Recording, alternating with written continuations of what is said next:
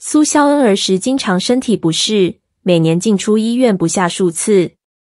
直到十五、十六岁，香港的医院引入电脑断层扫描技术，检查之下发现我的胆管长了良性肿瘤。那时，Lana 迎来人生首次大手术。手术后，她被护士唤醒，却感到身体异常疼痛。护士掀开我的衣服，发现伤口血流不止，她连忙按紧急呼叫铃。医生回来检查后，发现动脉没法止血，情况危急。需要再次动手术，分秒必争之际，医院没时间通知父亲确认手术了。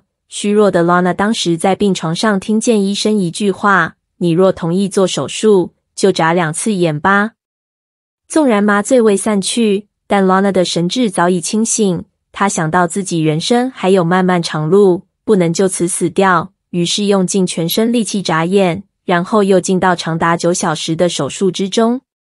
昏迷期间，我感觉自己飘到一条隧道，隧道里全是我在十六岁之前见过的人。我无法控制自己向前的步伐。隧道的尽头隐约是一道光。千钧一发之际，手术室内的医生大力拍醒 Lana。猛然惊醒的他，听见医生不断催促他呼吸，最终成功挽救性命。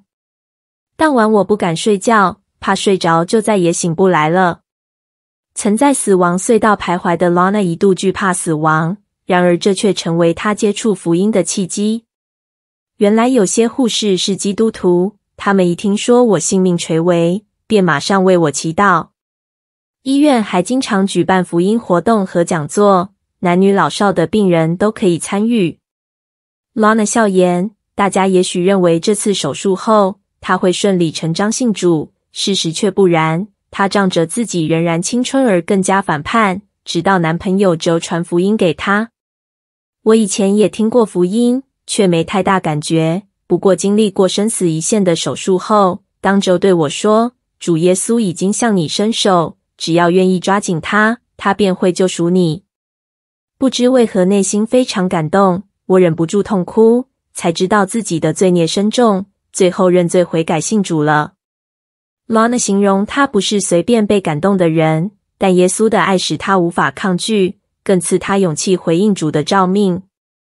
Lana 为乐柔美健服有限公司创办人，与经营内衣厂的拍档设计嫁以物美的女性内衣，亦为乳癌病人设计合适的内衣及义乳。这份以爱助人的使命感，源于 Lana 面对的第五次手术。大约十年前，我的卵巢出现发炎情况。医生建议安排手术紧急切除，以免恶化。手术后是长达三个月的休养期。一天，Lana 躺在床上望着天花板，想到自己以前不好好爱惜身体而出现毛病，因而对上帝感到愧疚。我向上帝认罪悔改，然后向他许了个愿：倘若未来十年我能够身体健康，便愿意为主做任何事。正是这份承诺。让 Lana 的人生出现奇妙转捩点。几个月后，Lana 康复过来，如常与丈夫打理建筑师楼的工作。我经常光顾一家内衣店，跟老板娘挺熟认。有一次，她说有感动，想跟我做生意，不是为了赚更多钱，而是希望为社会带来意义。后来，老板娘介绍了她的女儿夫妇，成为我和丈夫现在的好拍档。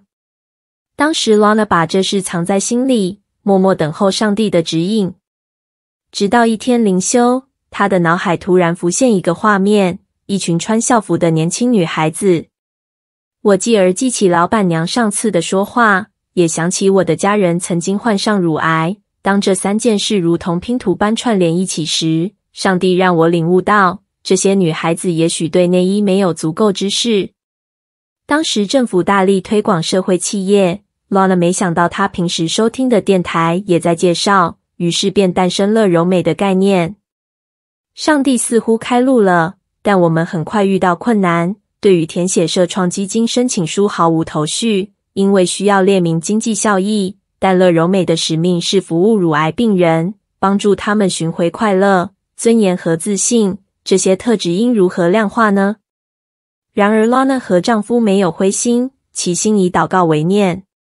上帝听了祷告，他巧妙的安排一位姐妹上来取样板，其丈夫刚好随行。原来姐妹的丈夫是业务顾问，他得悉我们的情况后，义不容辞伸出援手，申请书便顺利完成了。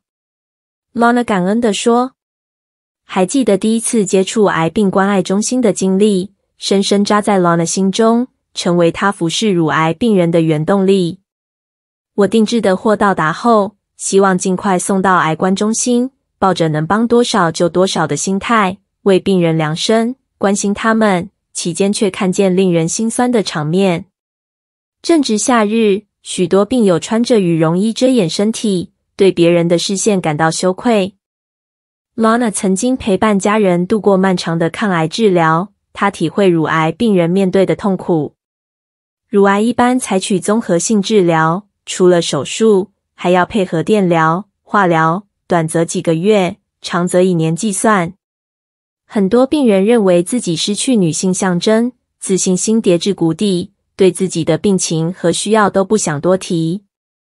时隔多年，Lana 艺术当天的场景时，眼眶隐约有泪光打转，这让我更加明白上帝所赐的使命。原来他要我们以耶稣基督的爱服侍，陪伴他们走过艰难的治疗阶段。我们的关怀对他们而言是一份接纳。Lana 并不是孤军作战，上帝让他认识了一群乳癌康复者，常以过来人身份鼓励其他病友乐观面对，成为心灵慰藉者。有时候拍拍病人的肩膀或张手拥抱，已经胜于千言万语。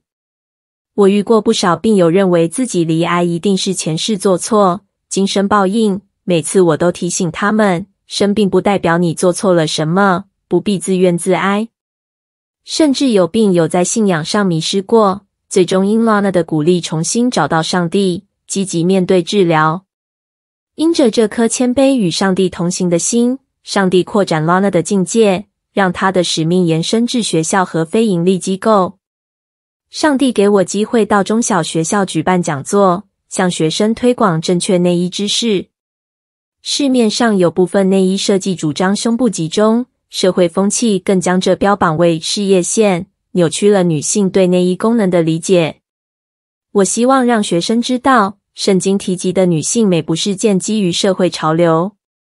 此外，Lana 与非营利机构合作展开社服工作，除了深入对谈关顾病人之外，还为他们配对治疗中穿着的内衣，送上支持和祝福。基督徒的生命就像葡萄树的枝子一样。需要不断被上帝修剪干净。对此，Lana 有一番深刻体会。面对困难时，有时我也会埋怨上帝，但他没有放弃我，反而透过这些经历帮助我除掉老我，包括自尊心、骄傲。我从中体会到上帝的慈爱、恩典、丰盛。原来为主做事不用想太多，凭着信就能迈步出发。Lana 仍记得当初搬进新办公室时。没资金缴交押金，谁料就在限期前两天，政府的基金批下来，得以及时支付。回望公司过去的营运，Lana 坦言危机时有发生，然而如今他更懂得依靠上帝。危机是上帝要我学习面对的，谁说危机不能出自上帝的手？顺境时，我们当然享受主的恩典，但难关往往是上帝管教的时刻，提醒我们要多依靠他。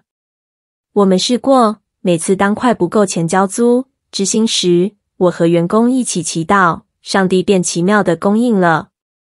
我觉得关关难过关关过吧，无论难关多大，我们的信心也不能小于一颗芥菜种。Lana 表示，若从天上俯视众生，这世界只是一点微尘；但人从地上看，当然觉得世界甚大，眼前的困难也大得无法跨越。我们只要扎根在竹里，生命便截然不同。因为耶稣的能力已经足够有余了。Lana 除了是谦卑倚靠上帝的老板，更是持家有道的太太。一顿美味丰盛的晚饭，不需大鱼大肉就能做到。以前的我看见冰箱这么少食材，只会觉得苦恼。但上帝教导我，在他的喜乐里过简单生活，只要愿意花心思，简单的食材也能煮得丰富。上帝透过一次次的磨练，让我学会了知足。然而，敬钱加上知足的心便是大力了。因为我们没有带什么道士上来，也不能带什么去。只要有衣有食，就当知足。